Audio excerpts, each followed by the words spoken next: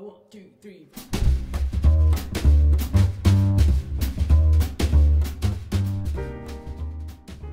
Welcome back to the Brew Tank. I'm Moses Zealots, where today I'm going to be making a blueberry hydromel.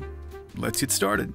Today we're going to use fresh Star Sans, 9 pounds of wildflower honey, 7 pounds of blueberries, 1 5 gallon bucket, 4.5 gallons of spring water, SafAle S-04, Go Firm, cheap vodka or sterile boiled water if you prefer, measuring cup, measuring spoons, and our yeast pitching bowl.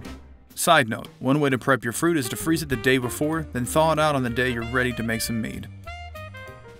Let's prepare our area for mead making. As always, don't forget to sanitize.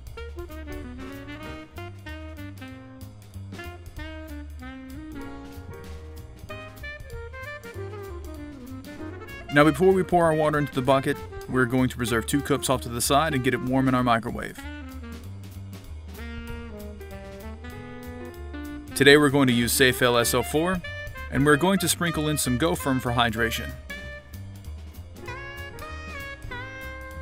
Once we've emptied the rest of our water into the bucket, let's grab our honey from the sink and get ready for our honey shot.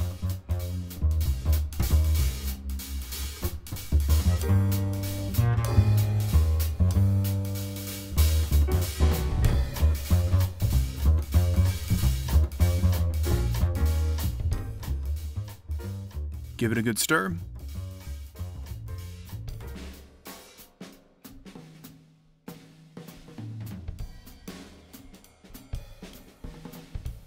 Now we drop in our blueberries and give them a mash down and another stir.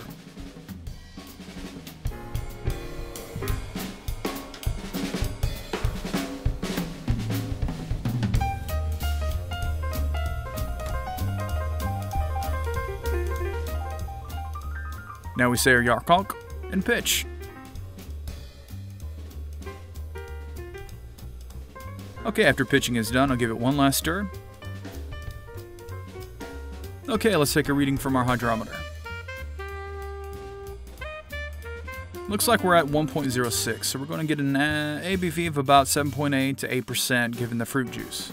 This will go dry given the tolerance of our yeast, so we are going to stabilize and back sweeten later on. Then we hit down the lid.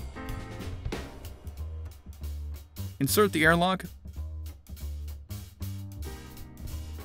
And fill up with your choice of vodka or sanitized water.